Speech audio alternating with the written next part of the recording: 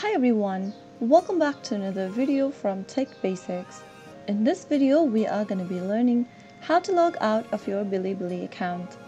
To log out of Bilibili, the first thing you'll need to do is to launch open a web browser.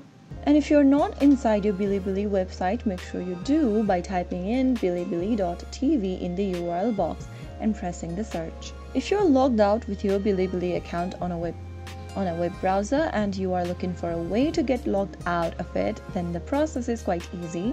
From the main homepage of Bilibili, go to the upper right corner and mouse over to your avatar. Now in the pop-up menu, click on the log out button, but remember that you must have your credentials ready every time you sign in back again to your account.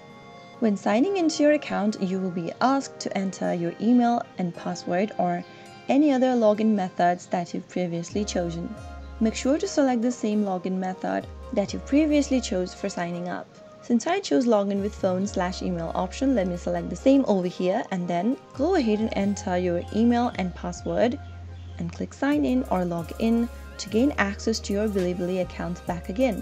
So that is how you can easily log out of Bilibili website in just a couple of minutes.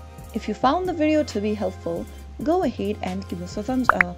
Don't forget to subscribe to the channel by hitting the subscribe button. Press the bell icon so that you'll never miss another upcoming upload from us. I will be back again in the next video. Thanks for watching.